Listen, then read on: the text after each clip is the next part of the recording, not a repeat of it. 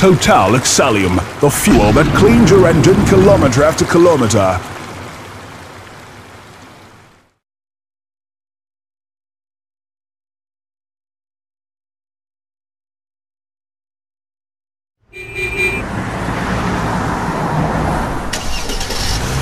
Total Excellium, the fuel that cleans your engine kilometer after kilometer.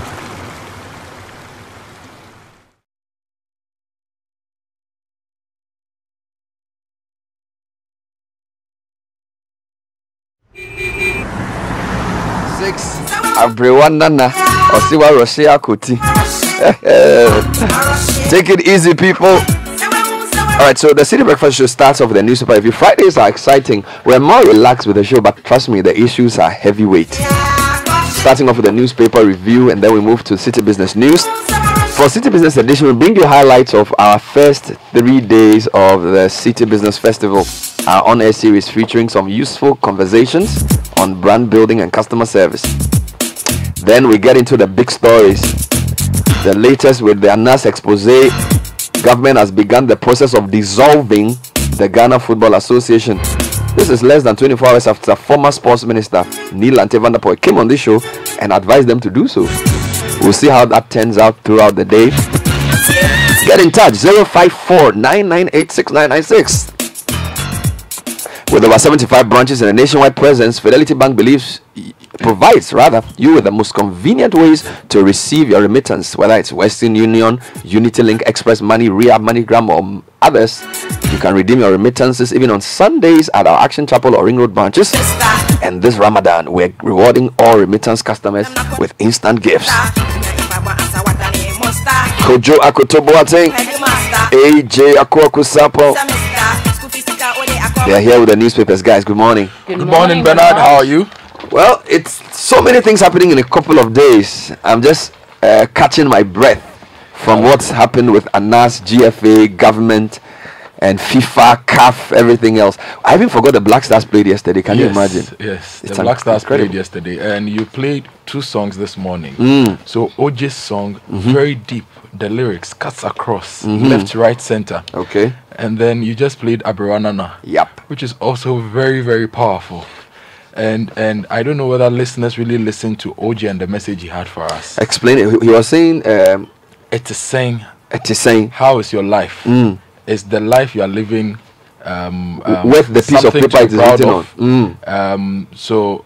And then he goes on to say that when people are in trouble, mm-hmm. you should not mock them. Okay. You should rather sit and reflect and ask yourself questions about your own life. So Kwesi Nyantakyi the GFA expose, all the people that have been captured in the video, mm-hmm. you know, some people are mocking them. Mm. But you, yesterday, when you were going to watch the expose, mm-hmm. you parked at the wrong place. You see, you. and you were arguing with a policeman. You see, you. You, you. When they say you should put your phone off, say you put yes, it off. Your kids are writing BC, mm. and you organize money as a parents' association to go and give to an invigilator. And you are pointing fingers. It is saying Kojo, you're a big man. Hmm. It's the same. You are too big. You. Let's just add amen. No, amen. amen. AJ, how are you doing? I'm good. Fantastic. Let's get into the Ghanaian Times. Starting with the Ghanaian Times, fallout from Anas's number 12. GFA dis- dissolved. Mm-hmm. uh, government orders police probe into widespread fraud, corruption, bribery in Ghanaian football. Ghanaians clamor for resignation of Nyantakyi, other football officials. Parliament to set up committee to investigate claims in Anas's video in Ghana to establish West African Petroleum Hub, says the Vice President. The Daily Graphic, aftermath of number 12, government to dissolve GFA, Parliament probes Nyantakyi others. We are ready to ensure success of one district, one factory, AGI, and give prosecution documents to accused persons, Supreme Court orders. The final GFA to be dissolved, persons captured in the video referred to the police. Fuel pricing formula to be reviewed, says the pre Vice President, four OMCs punch holes in draft local content policy, and BOG blames cedi depreciation on external factors. The Daily Guide, government cautioned over new GPHA boss. Nyantakyi boy demands $15 million bribe. GFA dissolved. Mm. Court chases Galamsey Queen sureties, that is Aisha Huang, and MPs raise concerns over RTI bail. The new weekend crusading guide, fallout of Anas's number 12 video, GFA dissolved dissolved. Government to communicate decision to CAF and FIFA. More reactions pour in over number 12. The Daily Statesman. Government moves to dissolve GFA. Please to investigate corrupt officials. Parliament to also investigate number 12 video by Anas. And President begins Western Regional Tour today. The Ghanaian Observer Akufo-Addo to dissolve GFA, says Information Minister Mustafa Hamid. John Boadu's campaign rocks Central Region. Our vision is to make Ghana a petroleum hub, says the Vice President. The Herald. Akufo-Addo runs from ministerial reshuffle again. Draws knife on institutional heads. Jinapor and Asenso Boakye get revenge on Korle Bu CEO. Attorney General flawed over ambush criminal trials by Opuni and others. Ghana government swims in FIFA's dangerous waters, courting international football ban, and regional minister calls Kumasi traders in discipline. As if we care. Parliament to probe GFA over Anas expose. Nurse slaps woman in labor, to whom government hospital launches investigation into cruel conduct. Private doctors battle medical council over Dr. Obinfo. If you go to the Inquisitor, there is something brewing in Kumasi. So the Herald says regional minister calls Kumasi traders in discipline. Mm. Now the Inquisitor said uh, says sack Osei Mensah over go sell cocaine retorts to hawkers. Oh. So he was talking to the hawkers and he said that some of them are sometimes indisciplined and they try to be indisciplined because they claim life is hard. Oh. And he said if you think that times are hard in the country, go and sell cocaine. Oh. And a lot Did of the really- hawkers are really very say very hungry. They they, they are angry at that particular statement. Now the fall and fall of Paul Ansah, why how GPHA boss was fired. Oh, Charlie. Franklin Cudjoe fingers government in another 165 million euro overpriced contract, Hmm. and Ghana in debt distress heading to HIPC minority. The publisher government dissolves GFA over Anas video. MPs to probe Anas video and panic hits government institutions as more CEOs face sack. The B&FT Payment Systems and Services Bill 2017 telcos monopoly over mobile money to be broken. Corruption is hurting African economies, Togbe Afede, and digitized statutory payments or being AJ. Weekend today, shocking. Nurse slaps pregnant woman for making noise during labor oh. and president to dissolve GFA. Gold Street Business exorbitant STS anchorage charges making Ghana uncompetitive shipping expert. This is from the GIPCON, which is still ongoing. Petroleum hub agenda requires over 50 billion dollars. Energy minister, that's more than our GDP, Bernard. Mm. And EPA strengthens compliance monitoring in small scale mining. The Independent, our vision is to make Ghana a petroleum hub, says the Vice President Dr. Bawumia, and Director General of Ghana Ports and Harbour Authority bids farewell to management after termination of appointment. Now, finally, the mirror. Bernard, do I have pink lips? Charlie Massa, just going to the stories. The mirror says that craze for thicker pink lips, creams selling like hot cake. And they have a before and after picture of somebody who had um, um, thinner lips and darker lips, now has thicker and pink lips. And breakdown Accra Psychiatric Hospital. Let's go online to give you some other stories. Parliament to probe GFA over number 12. This is citinewsroom.com. Also, VR Volta Region residents attack police station, wound officers for shielding robber. And then we have Black Stars played. Players begged me to pay referees for World Cup slot. Nii Lante Vanderpuye. Nii Lante was all guns blazing yesterday on the Citi Breakfast Show. Of course, we've heard of this. Government resolve GFA after number 12 expose, and government orders police to probe GFA officials, sports authority boss. All these on citinewsroom.com. Uh, my Joy Online leads with GFA dissolution illegal. Mahama Ayariga criticizes Akufo-Addo decision. Also, government action against FA is intervention, not interference. This is the sports minister. And Nyaho Tamakloe cites Anas for allowing Akufo-Addo others to first view aspects of number 12. If you go to the BBC, they lead with Ghana dissolves Football Association. This is the Africa page mm-hmm. of the BBC. Also, bodies recovered from Kenyan wreckage. Very sad story indeed. Now, if you go to citibusinessnews.com, Ishmael Yamson steps down as board chairman of Stanchart. Vice President urges BDCs to consolidate, and TUC AGI demand new trade policy for Ghana. So, lots of things happening within the business sphere. Let's come to the graphic, Kojo. Yes, page 3 of the graphic. Aftermath of number 12, government to dissolve GFA, Parliament probes Nyantakyi and others.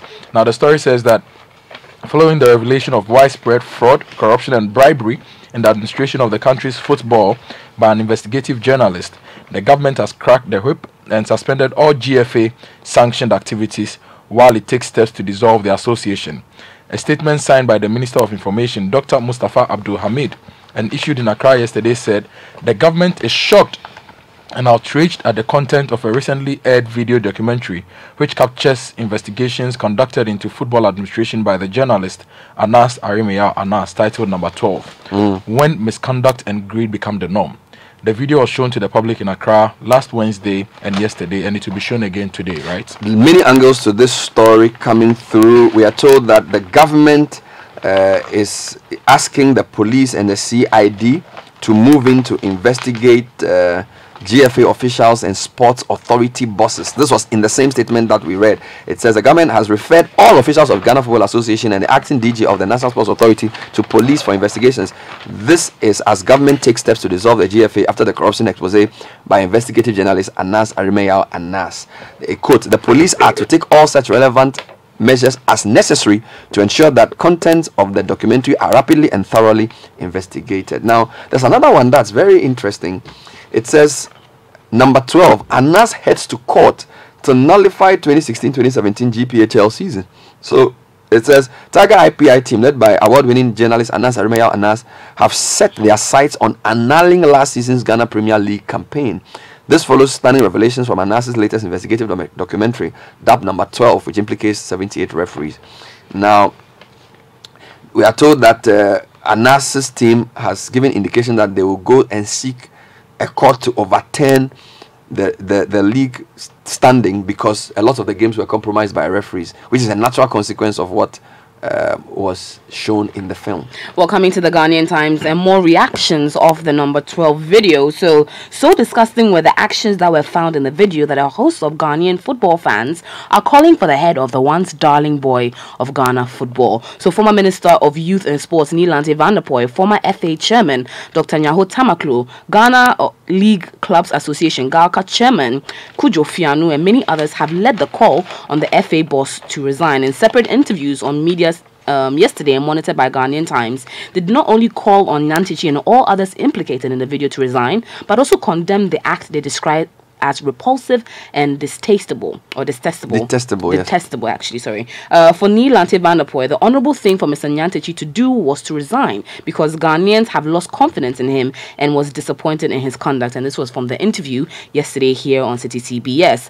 For Dr. Nyaho Nyaho Tamakloe, it was important to uh, order an immediate suspension of dozens of match officials that were caught on video taking bribes in various forms. He spoke on Joy FM and said the league must be suspended. It should be totally suspended and all referees caught on tape fired immediately. They should have they should have nothing to do with football, not even for toddlers in this country. GHALCA boss Kudjo Kudjo Kudjo Fianoo. Fianoo also urged Mr. Nyantakyi to resign for the country to chart a new way in football. If I were him, I would have resigned by now. What I saw was shocking and a bit disgrace to Ghanaian football. Meanwhile, member of the Black Stars B committee management committee Eddie Doku has denied allegations that he took bribe in order to influence games uh, for Heart of Oak winger Patrick Razak in last year's Wafu Zone B tournament. However, Mr. Doku has dismissed the claims and has threatened legal action upon return from Iceland, where the Black Stars played a friendly yesterday. And the last thing is that Parliament, Parliament. has also put up set up a committee to investigate the matter. The story says that Parliament has agreed to set up a seven member ad hoc committee to investigate Anas's expose into the activities of the Ghana Football Association. According to the Speaker of Parliament, Aaron Michael Oquaye, Parliament has the authority to set up special committees to deal with issues like this, which are of national interest. Now, yesterday, when the story broke that Parliament was doing this, the reaction on social media uh, was quite um, uh, in, Now- the, in the negative. Now let's move to something else. Give prosecution documents to accused persons. Supreme Court orders an important story. Ebo Hawkson reports that persons charged with criminal offences can now have can, can now give a sigh of relief because the Supreme Court has granted them access to prosecution documents in relation to their cases. In a landmark case uh, judgment yesterday, a seven-member panel of the court unanimously declared that accused persons, irrespective of the offences leveled against them, must be given prosecution documents to aid their effective defense. Such disclosures by the prosecution to the court held were in line with Articles 19, Clause 2E and G of the Constitution, which bordered on accused persons' rights of trial. Now, yesterday's landmark decision by the court was a constitutional interpretation of the article I just read. Um, the interpretation basically repeals portions of the Criminal and Other Offences Procedure Act, which allowed disclosures in only indictable trials, which is trials by jury such as murder and non-summary trials. So that means that if you, somebody sends you to court and you are the accused, you have access to what the prosecution is going to use or rely on in your prosecution, so that you can have a fairer chance of defending yourself properly. Let's go to some Galamsey stories now, Bernard. Yeah. If you go to page three of the Daily Guide, court chases Galamsey Queen sureties. The story says that state prosecutors in the trial of Aisha Huang, a Chinese national, and her four accomplices at an Accra High Court over their alleged involvement in illegal mining Galamsey in Kumasi in the Asante region are on the heels of those who stood as sureties for the accused persons.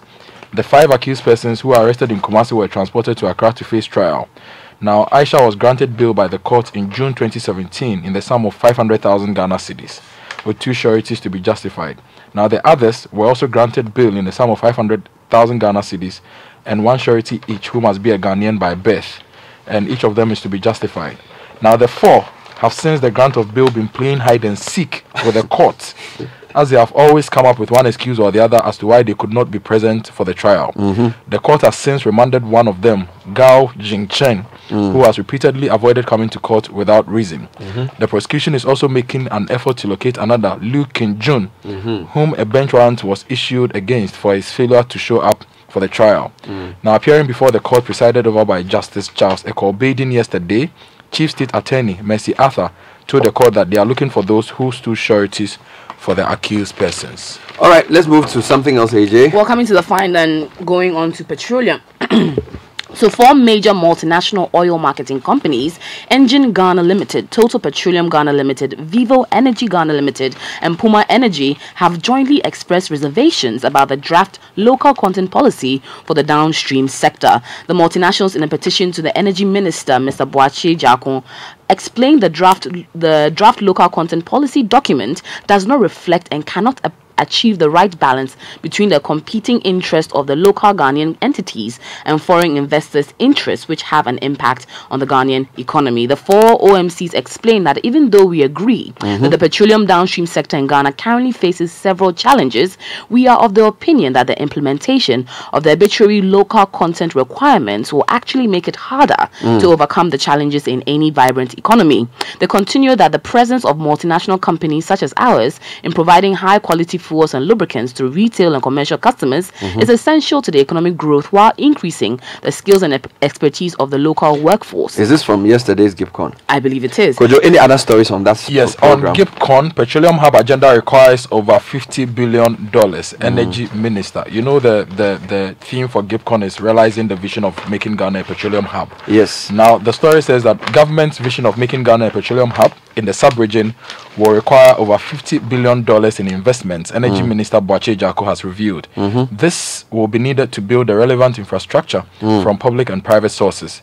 Agyarko made this known at the second edition of the Ghana International Petroleum Conference in Accra. Okay. Now, the shippers are also complaining about the anchorage charges. Mm-hmm. Now, the story is on the front page of the Gold Street Business. It says that to position Tema as a hub for cargo redistribution in the sub-region, mm-hmm. Ghana needs to strongly consider its anchorage charges for ship-to-ship transfer mm. operations to become competitive. A shipping expert Gilbert Osu Jemfi has said the exorbitant fees paid by vessels own, vessel owners for STS transfer operations on daily basis, Mr. Jemfi explained, has pushed vessels to boycott Tema and go to our neighboring. Still on that, Vice President urges BDCs to consolidate. This is citibusinessnews.com. Ghana's vision of becoming a petroleum hub may not be realized if oil service providers in the industry fail to consolidate their efforts, the Vice President Dr. Bawumia has said. According to him, Ghana will be better positioned to compete within the sub-region if service provided providers like bulk oil distribution companies join forces.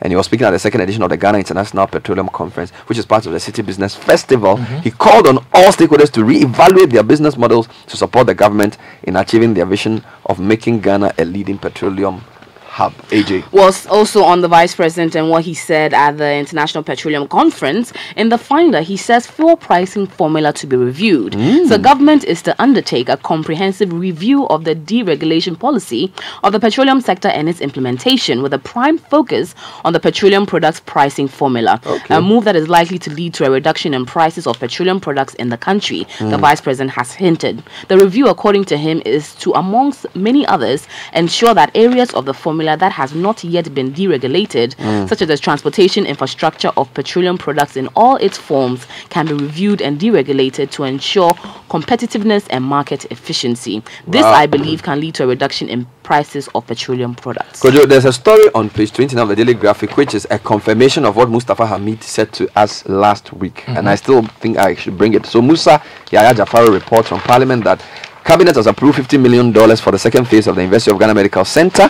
Minister for Health told Parliament last Wednesday that the $50 million was the estimated cost of the second phase. He said the Ministry of Health would lay the request for the amount in Parliament next week for approval.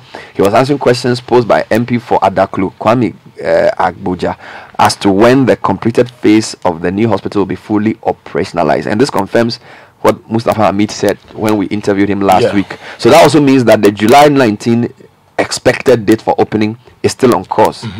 Now, but the story said, in the in quoting the minister, I said, uh, procurement of the consumables and reliable power supply would guarantee the operationalization of the hospital by the end of July. So it's probably a few days after the 19th. This is what the minister is quoted as saying by end of July. Remember, I, I, I pressed Hamid and he said by mm, 18 July everything should be ready. But the minister is telling Parliament they are expecting end of July, which is like 11 days after that date. Okay, so review the deadline that we have set to end, End of July. Yes, Fantastic. Because this, see, when when when a minister speaks to Parliament, Parliament is the House of Record. Yeah. So that that is more substantive than what he would say to us in an interview. Okay. So let's take the Let's do a mashup of firing stories. Mm. So the Herald and the Inquisitor have front page stories on the president firing um, CEOs of institutions. Now the Herald says Akufo-Addo runs from ministerial reshuffle again Hmm. and takes his wrath uh, to the CEOs. And the story basically it basically says that President Nana Akufo-Addo on Wednesday skipped his long announced reshuffling of his 110 ministers again. You mean Akuko Sach Akuma and Nyenife. Nyenife? The man has sacked eight people in two day, one day. You say he's still for sack Uh, more. but, but did the president announce any reshuffle? Because the Herald says long announced. I think it's more long awaited. Okay. Mm. Now, and the Herald goes on to say that he skipped the reshuffling and rather and rather went after four chief executive officers of some state institutions, Mm. dismissing them from office for unspecified reasons. Also sacked were two deputy CEOs of the Ghana Export Promotion Authority, bringing the number of officials dismissed by the president to six. Now, the inquisitor says that why and how the GPHA boss was fired. There's another story in one of the papers. I Yes, about the the, the, the, the sackings. Yes. Now, um, the inquisitor says that appointments to higher offices are always seen as a rise in the life of the appointees, but in some cases, such appointments can lead to the downfall of the appointees. Such is the case of Mr. Paul Asare Ansah, Oh, popularly known as Paul Lance, Charlie. the dismissed Director General of the Ghana Ports and Harbours Authority. Per the announcement of his dismissal, Mr. Ansah will not be reassigned, an indication that he is gone for good.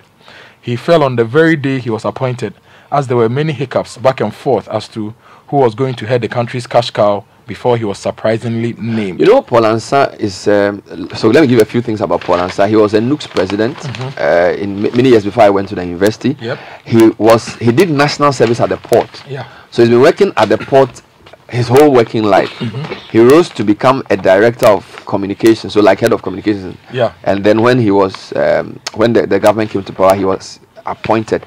It was a position a lot of people were eyeing Yeah. you know and it's not a, it's not a very easy job and because no reason was given for his dismissal you can't also comment on what, what he did or what he did not yeah. do But some industry stakeholders are saying that the president should not appoint anybody who is not within the port setting. Now, if you go otherwise yeah why Guide- why because he the person cannot So let me give you the Daily Guide story. It says government cautioned over new GPHA boss. Mm-hmm. Now the story says that the government has been advised not to appoint persons outside the Ghana Ports and Harbours Authority for the two top positions at the organization in order not to create conflict as witnessed in the recent past. Already, a legal and financial brain, Edward Kofi Osei, director of Port in Tema, has been appointed to replace um, you know as acting. me, I, I, I don't know what he did but for me he was a, he was a decent guy because we used to interview him when he Mm-hmm. Was head of communication he was quite open to the media so from our perspective he was he was a good guy but Mm-hmm. I don't know what happened for which reason he was sacked in the meantime there's a very interesting advert that has been in the papers since uh, yesterday so Dr. Felix Anyah is being congratulated uh, for being awarded best CEO in health facilities management. Now the first a- a- advert came yesterday, Yeah. a day after he was he was sacked. So There's a billboard too. Yeah. so talk of bad timing, but I mean, So he's also left. So let's remind listeners: four chiefs, exec, chief executives. Yeah. So GPHA Paul Ansah, uh, Dr. Boss. Felix Anyah uh, of. Korle Bu, Bulk Oil Storage Company, Yes. and then Ghana Export Promotion Center. Yes. For GEPC, the CEO and two, Two deputies, deputies are gone. all gone. Yeah. Well, still on the Ghana Port and Harbour Authority, and it seems the top management might be uh, agreeing with your stance on his management style because he has officially handed over, and this is an independent, to the director of Tema Port, Edward Osei. So he met with his top management team, including CEOs of other affiliate business units of GPHA, like the International Maritime Hospital and the Tema Shipyard, at exactly 3 p.m. on Wednesday, 6th of June, after receiving his termination letter. And after the top management of the organization described Mr. Paul Asare Ansah's contribution to the organization since he took over as resourceful and outstanding. However, coming to the publisher, and it seems panic has hit government institutions as more CEOs Charlie. face sack. I tell you. So the publisher can confirm that CEOs of government institutions are sitting on tenterhooks barely 48 hours after Hmm. the president sacked four appointees on Wednesday. The CEOs, jittery as they appear, Hmm. are dazed, particularly with the president clothed with the power to hire and fire, Charlie. as he's kept the list of next appointees to be axed close to his chest. Charlie, but the president's style is serious. So Charlie. four in a day. Nanebo, hmm. Nanebo, hmm. Otutu firefighter. Charlie? Otutu firefighter. Now, AJ, so did they mention specific CEOs who should be afraid? No, but they are indicating that the shakeup is likely to hit the Social Security and National Hey, Insurance we oh. Trust better go. SSNIT within mm-hmm. a few days, our source are Charlie, when, saying. when you report such a thing, then if I wake up sleep, then I can't even sleep Charlie. again. Charlie, publisher, why? it seems SSNIT is next. Let's see how it's going to go. anyway, Kojo, we have two stories. Yes, I'll give you one on- headline and Yes. I'll give you the details of the other one. First headline Coco seller busted with tramadol in bread. So she was trying to smuggle tramadol to inmates of, in a police cell. So she put it in bread and she was busted for that. Now, Telco's monopoly over mobile money to be broken if the new payment systems and services bill comes into force. The story says that the Payment Systems and Services Bill 2017, which is currently before Parliament, will expectedly allow banks to issue electronic money, thereby breaking the monopoly of telcos in the mobile money space. Hmm. Some universal banks have submitted applications to also issue electronic money under the Payment Systems and Services Bill 2017, that is currently before Parliament. We have a big event on 14th July discussing the future of electronic money and the financial technology sector, and that's mm-hmm. part of Citi Business Festival. It's at Alisa Hotel at 3:30 p.m. I'll tell you more about it next week. But thank you, Kojo. Thank you, AJ, for helping us go through the newspaper headlines. Coming up next is the Citi Business News. This is the Total Excellium, the fuel that cleans your engine kilometer after kilometer.